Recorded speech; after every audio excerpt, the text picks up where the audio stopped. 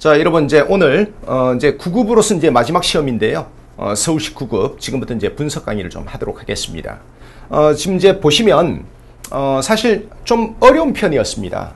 어 작년 9급 어 9급 서울시와 비교해 봐도 조금 어렵지 않나. 뭐 이렇게 보여지고요.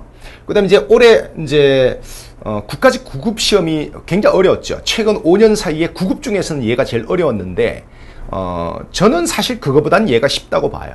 근데 이제 수험생들이 지금 이제 처음에 한 30분 정도 이제 여론을 들어보니까 수험생들이 어, 국가직 구급보다 좀 더 어려웠다는 사람들이 있는데 이거는 어, 문제 스타일 차이예요. 국가직이나 지방직이나 교행은 또 사회복지는 완전히 뭡니까? 지금 국가고시센터는 지금 수능 스타일로 거의 이동을 했거든요. 어, 그런데 뭐 말장난을 쳐도 그렇게 뭐 아주 치사반사한 게 별로 없었어요. 근데 이 서울시는 약간 제가 계속 말씀드렸잖아요. 서울시는 좀 더 올드한 스타일이에요. 앞으로 따라가지만 국가고시센터를 따라가지만 서울시만의 특징이 있습니다. 원래 서울시가 좀 더 올드한 스타일이에요. 그래서 어 약간 좀 지역적인 암기나 순서 배열, 그다음 말장난치는 문제 이런 문제가 국가직, 지방직 교행에 비해서 많았습니다. 그래서 체감적으로 아, 어렵게 느껴진 거죠. 어, 90점 정도면 이제 합격권이라고 볼 수가 있겠고요. 제가 봤을 때는 뭐 조금 이제 컷이 낮은 데는 85점으로도 이제 선방할 수가 있겠고, 그 다음에 이제 90점 정도 받았으면 한국사 때문에 어, 떨어질 리는 없습니다. 근데 어, 지금 서울시 과목 중에서 가장 어려웠다는 평가를 받고 있는 게 지금 한국사더라고요. 초반 한 30분 정도 여론을 들어봤을 때. 자, 그 다음에 사실 뭡니까? 뭐 교과서 범위에서 출제가 됐습니다. 어, 하지만 어, 구체적인 암기를 필요로 한 문제 또는 순서배열 문제가 좀 까탈스럽고 그 다음에 말장난 치는 문제가 좀, 어, 좀 많았습니다. 약간 좀 올드한 스타일이죠. 그래서 이제 그런 부분, 그런 부분 때문에 체감적으로 좀 어려웠지만 사실 고등학교 교과서 범위를 벗어난 건 전혀 아니거든요. 자, 그 다음에 어, 근현대사 비중이 40% 8문제가 되겠습니다. 좀 많이 나온 편이라고 봐야 되겠죠. 원래 서울시가 한 6문제밖에 안 나오거든요. 자, 어, 갑니다. 뭐 제가 이제 여러분들한테 지난 4년 반 동안 늘 말씀드립니다. 어, 구급이나 경찰은 고등학교 교과서 과정을 철저히 지키는 게 필요하다. 범위를 넓히면 진짜 간혹 가다가 아주 간혹 가다가 나오는 교과서 범위를 넘어서는 문제를 한 문제 잡자고 범위를 넓히면 한도 끝도 없다는 거죠. 진짜 좌표를 잃고 방황하기 십상이라는 거죠. 그 다음에 최근 3년 동안의 기출문제만 풀어도 충분하다고 보는 거죠. 그래서 어, 개념을 좀 반복하고 기출 문제를 풀어서 충분히 이 정도가 나왔을 때 어, 뭐 고등학교 교과서 수준에서 공부해도 95점 만점 충분히 나온다는 거죠. 여러분들 한번 잘 생각해 보십시오. 제가 지난 4년 동안 계속 해설 강의에서 말씀드렸습니다. 만약에 1년에 7급, 9급 공개된 문제가 305문제가 공개가 되는데 그 중에서 제가 명백히 고등학교 교과서 수준을 넘어서는 문제, 제가 수업 시간에 다루지 않은 거, 우리 기본서에 없는 거, 제가 다섯 문제 넘어서면 어, 강사 때려친다고 제가 계속 말씀드렸습니다. 올해도 마찬가지죠. 지금 어, 서울시 7급은 제가 항상 예외라 그랬습니다. 서울시 7급은 진짜 지저분해요. 그런데 지금 어, 서울시 9급, 지방직 9급, 교행, 그 다음에 국가직 9급, 그 다음에 경찰 사회복지, 자 그 다음에 또 한 번 있는데 뭐지? 어, 경찰 사회복, 아, 법원지. 그러면 7번이면 지금 기출된 문제가 145문제네요? 그 145문제의 기출문제 중에서 제가 수업 시간에 다루지 않은 거, 솔직히 저는 국가직 구급에서 그 부민간, 그 의열단 문제 정확하게 제가 다루지 못해서 제가 죄송하게 생각하고 사과를 드렸습니다. 하지만 명백하게 다루지 않은 게 있었던가요? 이번 시험도 이번 서울시 구급도 마찬가지입니다. 지방직 구급, 사회복지, 교행, 그 다음에 국가직 구급에서 경찰에서 제가 명백히 다루지 않은 게 지금 그 부민감 문제 말고 몇 문제나 있었습니까? 없었습니다. 이번 서울시 구급도 마찬가지죠. 디테일한 순서 배열, 말장난 치는 문제, 이런 문제가 좀 있었을 뿐이지. 제가 이런 건 어떻게 하자 그랬습니까? 자, 기출 문제 충분히 풀어준 다음에 기출 변형 문제라고 하고, 우리 동경 모의고사로 가고 사실 이번에도 우리 동경 모의고사에서 다룬 훈련한 문제들이 지금 여러 문제가 나왔죠. 특히 서울시 7급에서 우리 동양 모의고사에서 정확하게 지금 찍어, 찍어서 뭡니까? 나온 문제가 지금 꽤 어려운 문제가 지금 몇 문제 있습니다. 자, 여러분, 어, 내년에도 마찬가지입니다. 어, 다음 주에 제가 설명회를 하면서 초시생들이 어떻게 한국산 단추를 잘 끼워야 되는지 제가 잘 말씀드릴 겁니다. 한국사는요, 구급의, 구급이나 경찰의 경우에는 첫 단추만 잘 끼우면 정석대로 공부하면 누구나가 3개월, 4개월 정도 공부하면 자, 이런 정도 문제가 나왔을 때 90점, 95점 만점 받습니다. 그런데 제가 사무실에서 계속 전화로 상담을 해보면 어디서 엉뚱한 공부, 어? 6,000분, 7,000분, 8,000분짜리 강의를 어? 1,500페이지 넘는 기본서를 쭉도록 2년, 3년씩 공부했는데 늘 한국사 점수가 60점, 70점이래. 그러면 뭔가 좀 비판적인 고민을 좀 해봐야 될 거 아닙니까? 아, 내가 한국사를 잘못 공부하고 있구나. 내가 진짜, 어, 뭡니까? 이게 나하고 안 맞는 강의를 공, 공부했구나. 이런 생각을 좀 하셔야 되는데, 대다수의 수험생들은 그렇게 하지 않더라고요. 자, 여러분. 선생님하고 지금부터 한 문제 한 문제씩 좀 분석을 좀 해보도록 하겠습니다. 자, 여러분. 어, 지금 이제 우리는 B형을 하고 있습니다. B형은 어디부터 시작하냐 하면은 1번 문제가 이게 고려대장경이야. 고려대장경. A형, B형이 어, 좀 달라요. 고려대장경부터야. 거기부터 이제 A형 사람들은 여기서부터 따라가시면 되겠습니다. 자, 여러분 1번 문제 치고 장난 좀 심하게 쳤습니다. 자, 여러분 대각국사 의천이 어떻겠습니까? 송, 송, 그 다음에 요, 그 다음에 일본 등지에서 자 뭡니까? 대장경을 수입해서 했다고? 그렇죠. 이걸 뭡니까? 교장 간행의 자료로 삼았죠. 자, 여러분 정확히 말하면 이것도 잘 봐봐요. 의천이 활동할 때가 언제입니까? 11세기 말입니다. 왕으로 따지면 숙종, 고영간에 활동했던 사람이 바로 의천이에요. 그런데 금이라고 하는 나라는 언제 세워졌습니까? 1115년에 세워졌으니까 자 의천이 어떻게 어, 세워지지 않는 나라의 불경을 가져와서 수입을 했겠습니까? 이거는 말도 안 되는 거죠. 이건 뭡니까? 요하고 금하고를 지금 장난을 쳐주고 이걸 구별하라는 식으로 문제를 물은 거죠. 됐습니까? 그래서 아마 제가 알기로는 여러분들 중에서도 요 1번 문제를 좀 어려워한 사람들이 좀 있는 것 같아요. 자, 요 문제가 난이도 자 뭡니까? 중정도의 문제로 볼 수가 있겠습니다. 자, 그 다음에 2번 문제 갑니다. 자, 여러분 2번 문제 이거 대표적으로 어려웠던 문제, 여러분들이 많이 어려웠던 문제 중에 하나일 거라고 봐요. 하지만 이건 뭡니까? 솔직히 구체적인 연도를 외우라는 게 아니잖아요. 쌤이 분명히 뭡니까? 무신직공기의 스토리를 말씀드립니다. 자, 제일 먼저 가는 게 뭐죠? 그렇죠. 무신정변 직후에 일어난 게 김보당이 난 조이총이 난이죠. 맞습니까? 김보당이 난 조이총이 난이 제일 앞으로 가야 돼. 그 다음에 이제 어디로 가야 됩니까? 자, 그 다음에 이제 어디로 가야 되냐면은 자, 여러분 세 번째 장군이 누구죠? 정중부가 한 10년 해먹고 경대승이 4년 해먹고 그 다음에 이제 이의민이 해먹은 거죠. 자, 그러면 나로 가야 되겠죠. 그 다음에 이제 어디로 가야 되겠습니까? 그렇죠. 어, 이의민이 천출인 이의민이 권력 잡고 있을 때 이제 뭡니까? 곳곳에서 어, 뭡니까? 이게 천민들이나 농민 반란이 이제 사방에서 막 일어나요. 이걸 뭡니까? 적극적으로 진압한 사람이 바로 최충원이죠. 이의민을 죽이고 권력 장악하고 나서 각지 농민항쟁을 진압한 게 최충원 아닙니까? 최충원이 설치한 게 교정도감이죠. 그러니까 자 이러면 순서상으로 흐름상으로는 가나다라로 가는 게 맞다는 거죠.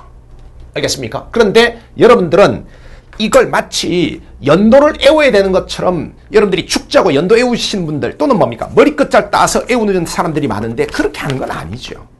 이건 무신직공기에 뭡니까? 스토리를 여러분들이 이거는 뭡니까? 저뿐만 아니라 모든 강사들이 이런 정도의 스토리는 이야기해 주거든요. 그걸 가지고 문제를 푸는 거지 이게 어, 그런 건 아니라는 거죠. 연도를 애워야 풀 수 있는 문제는 아니라는 거죠. 그 다음에 여러분 3번 문제. 또 개치삽 반산 말장난을 쳐놨어요. 동그라미 2번이 뭐가 틀렸습니까? 그렇죠. 어, 태조 때 서, 태조가 아니라 자 그렇죠. 태조가 아니라 자 뭐로 고쳐야 됩니까? 성종이라고 고쳐야 되겠죠. 6대 성종 때 12목을 설치를 했죠. 얘는 맞고 얘는 틀리고 아주 전형적인 자 거의 뭡니까 경찰 수준의 개치사 반사 문제를 그러니까 원래 이제 그렇습니다. 서울시가 국가 고시센터에 비해서는 좀 올드한 스타일을 내는 편이에요. 자, 그 다음에 갑니다. 뭐 4번 문제는 난이도가 하 문제죠. 뭐 3번하고 4, 4번은 이제 난이도 합니다. 3번이 정답이 되어야 되겠죠?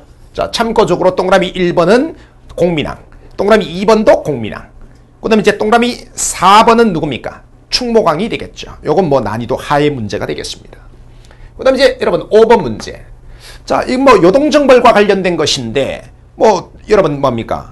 그 이방원은 태조의 요동정벌 운동을 적극적으로 지지했다. 자, 여러분 뭐 자, 요거는 뭐 사실관계가 틀리는 거죠. 육룡이 나르샤를 봐도 그렇습니다. 당시에 이방원 등은 이 요동정벌에 대해서 이제 뭡니까? 이게 다른 정치적 의도가 있다고 봐서 어, 실제로 이방원은 뭡니까? 이게 요동정벌이 불가능하고 다른 의도가 있, 다고 봐서 탐탁치 않게 생각하고 반대를 했죠.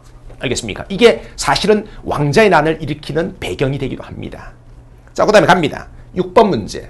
뭐 6번 문제는 뭐 여러분들이 뭡니까? 뭐 이거는 교과서에 나오는 거니까 어, 동국문헌비고 1번이 정답이 되겠죠? 자, 그 다음에 이제 어, 이 동국지리지는 이제 한백겸의 동국지리지니까 한백겸은 어떻습니까?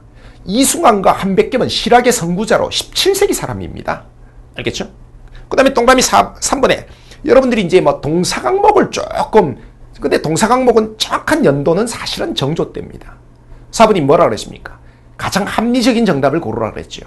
3번에 동사 강목이 좀 의심스럽지만 자 뭡니까? 1번이 영조의 편찬물 어, 고등학교 교과서의 영조의 편찬물 한 뭡니까? 속대전과 동국문헌 비공 이 두 개만 교과서에 나와 있습니다.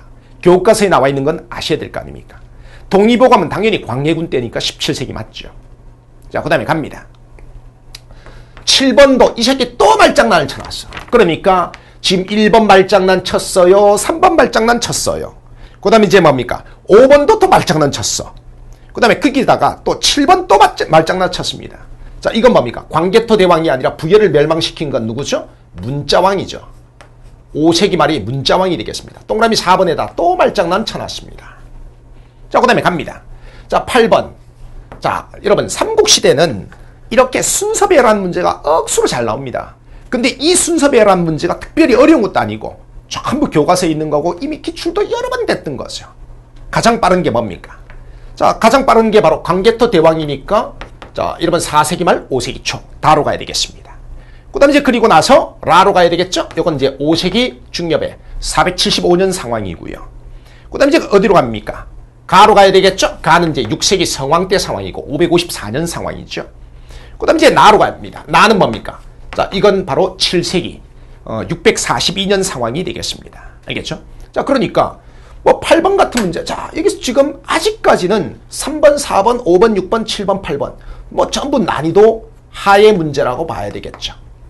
자, 1, 2번 정도만 조금 까탈스러운 수준이고 뭐 나머지 문제는 아주 유치찬란한 문제가 되겠습니다. 그 다음에 이 새끼들이 또 9번에다 또 말장난 쳐놨어. 야, 겸이기. 겸이기라고 하는 승려가 어디 승, 승려야? 이거 고구려 승려가 아니라 백제 승려 아니야. 그러니까 동그라미 4번에다 또 말장난 쳐놨어, 이 새끼들이. 알겠죠? 요거는 우리 기본 선화서부는 다 있습니다. 이거 겸익 강조 안 하는 선생이 어디 있습니까, 세상에. 그 다음에 10번. 자, 10번은 이건 뭡니까? 그렇죠. 이거는 이제 무왕이 되겠습니다. 흑수말갈 나오니까 이제 무왕이겠죠? 자, 무왕이 727년에 일본과 어, 수교를 했으니까 727년에 일본과 수교를 했으니까 4번이 정답이 되겠죠. 뭐 요것도 전부 뭐 9번이나 10번도 전부 난이도는 하라고 봐야 되겠죠. 동그라미 1번, 그 다음에 동그라미 3번은 누굽니까? 그렇죠. 요거는 이제 바로 문항과 관련된 것이고 그 다음에 2번은 이건 선왕과 관련된 것이죠. 이렇게 봐주시면 되겠습니다. 자, 그 다음 이제 11번에 보시면 이제 박영현대, 뭐 박영료 아주 쉽죠. 뭐 여기서 박영료 못 뽑아주는 사람은 아마 없을 거고요. 자, 그 다음 이제 12번 문제. 자, 12번 문제를 여러분들이 조금 어렵다는 사람들이 있는데 사실 이건 어려운 문제는 아니잖아요. 왜냐하면은 여러분들이 현대사라 공부를 좀 현대사, 저 근현대사 쪽이 백진 공시생들이 되게 많아요. 왜? 두꺼운 솜수로 공부하다 보니까 맨날 앞부분만 달달달 하고 저 뒤에 근현대 쪽에 아주 백진 공시생들이 엄청 많아요. 1년, 2년씩 공시생활 했다는데도 그렇습니다. 사실 현대사 중에서 이 정도는 기본이잖아요. 제주도 4.3 사건만 정부 수립 전이고 나머지는 전부 정부 수립 이후의 모습 아닙니까? 그러니까 2번이고 뭐다 난이도 합니다. 알겠죠? 자, 그 다음에 13번 문제. 자, 13번 문제는 요것도 역시 또 말장난을 쳐놓은 거죠. 이것도 말장난 쳐놓은 겁니다. 동그라미 4번에. 자, 어떻습니까? 54년에 제2차 개헌, 이걸 이제 4.4 개헌이라고 하는데 이 4.4 개헌의 내용이 이게 아니잖아요. 초대 대통령에 한해서는 연임 제한 규정을 두지 않는다는 게 골자 아닙니까?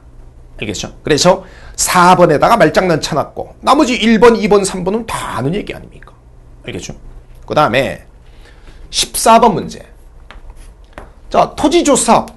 어, 국가직에 나온 이래로 이번에 또 나왔네요. 자, 여러분, 토지조사업 당시에 어떻습니까? 어, 지주의 소유권을 옹호하고, 그 다음 이제 소작인들의 뭡니까? 관습적 경작권을 일제가 부정했죠. 그러면서 이제 뭡니까? 당시 이제 그 이런 거와 관련된 어떤 소유권 분쟁이 굉장히 많았습니다. 한 10만 건 이상 됐다고 알려져 있죠. 자, 당시 이제 소유권 분쟁 당시에 어 이제 조선 총독부는 어 이 뭡니까 분쟁지 심사위원회라고 하는 걸 두어서 이제 어 이런 분쟁지에 대해서 심사를 했는데 이 과정에서 이제 거의 대부분 지주 쪽, 이 지주 쪽에 유리한 어떤 판결들이 나오고 그랬죠.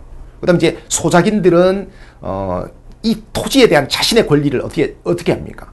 본인이 증명을 해야 되죠. 이게 이제 증거주의라고 하는 겁니다. 그래서 이제 소작인들이 어, 어떤 소유권 분쟁 당시에 뭡니까? 이 땅에 대한 자신의 권리를 주장하기가 참 어려웠다는 거죠. 그래서 뭐 1번이 정답이고요. 뭐 특별하게 어려운 문제 아니잖아요. 자, 그 다음에 여러분들 중에서 15번 문제를 틀린 사람들이 되게 많아요. 여기 이제 난이도가 중이라고 저는 볼 수 있는데, 자, 사실은 어려운 문제는 아니잖아요. 다 이게 우리 기본선학 교과서에 다 있는 거잖아요. 국민교육 헌장이 제일 빠르잖아요. 1968년에 국민교육 헌장이 나오는 거 아닙니까? 그렇죠? 뭐 사부님도 저 뭡니까 초등학교 중학교 때 이거 열심히 애웠거든요. 뭐 이거 애우면 뭐 참 잘했어요. 뭐 도장도 찍어주고 그랬거든요. 교감 교장 선생님이. 자 그래서 이제 뭐 당연히 이게 제일 빠를 거고. 그다음에 이제 어디로 갑니까?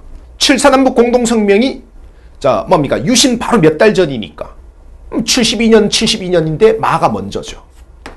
그렇죠? 그 다음에 이제 그리고 나서 이제 뭡니까? 어, 자, 다. 유신헌법이 통과된 게 그 다음이고요. 그 다음에 이제 그리고 나서 어디로 갑니까? 김대중 납치 사건? 이거 뭐 우리 기본선언이 다 다루는 거 아닙니까, 이거? 뭐 김대중 납치 사건이 바로 나고요. 73년이죠. 그 다음에 이제 그리고 뭡니까? 김영삼 의원직 제명 사건은 뭐예요? 그렇죠. 이거는 유신체제의 종말과 관련이 있잖아요. 유신체제가 무너지기 바로 몇 달 전 상황 아닙니까? 그래서 이제 가로 가는 거고.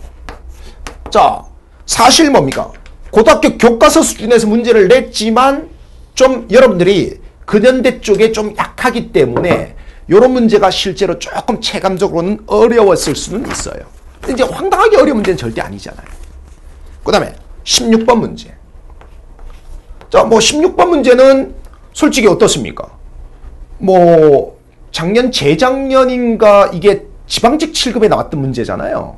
그래서 이제 이것 때문에 선생님도 우리 동영에서 굉장히 사실 16번 문제는 우리 동영에서 많이 강조를 드렸습니다. 선생님이 뭐라 그랬습니까? 사실 어, 부산포, 연포, 제포가 어, 보통 우리가 이제 세종 때 3포를 개항했다고 알려져 있지만 태종 때 이미 두 개는 열려 있었거든요. 그 다음에 이제 그리고 나서 이제 태종 일, 어, 세종 1년에 대마도 정벌을 하고 그리고 나서 이제 뭡니까? 어, 제포까지 포함해서, 아니, 그러니까 연포까지 포함해서 부산포, 연포, 제포, 삼포를 개항한 거거든요. 알겠죠? 그러니까 부산포, 연포, 제포라고 해서 삼포를 정확하게 개항한 건 대마도 정벌 직후라 그랬습니다. 쌤이 스토리를 말씀드렸죠. 우리 세종께서 무조건 조급해서 될 문제가 아니다. 얘네들한테 뭡니까? 그렇죠. 어, 먼저 토벌 작전을 하고 나서 대마도주로부터 어, 외구 지원에 대한 그 근절 외구 지원에 대한 뭡니까 뭐 이렇게 외구에 대한 지원을 근절하겠다는 약속을 받고 철수를 하고 그다음 이제 그 몇 년 뒤에 자 뭡니까 어, 부산포 연포 제포를 열어서 삼포를 개항했다 이렇게 말씀드렸죠. 그래서 이제 1번이 정답이 되겠고요. 뭐 이 문제는 뭐 어려운 문제는 아니잖아요. 자 그 다음 이제 17번 문제를 보시면 뭐 요거는 뭡니까? 자 그렇죠 이승훈하고 그 다음 이제 안정국의 천왕문답 그 다음 이제 그리고 뭡니까? 김대건 신부 3번이고요. 천주교 문제치고는 좀 쉬운 편에 속합니다. 알겠죠? 자, 그 다음에 18번 문제. 18번 문제도 또 장난치 문제죠. 어떻습니까? 동그라미 1번은 보안해로 고쳐야 되고 그 다음에 동그라미 2번은 자 뭡니까? 제국신문으로 고쳐야 되고 그 다음에 동그라미 3번은 신체호 등으로 고쳐야 되고 동그라미 4번은 정답이 되겠죠. 이것도 뭡니까? 유치찬란한 말장난이 되겠습니다. 자, 그 다음에 갑니다. 19번 문제.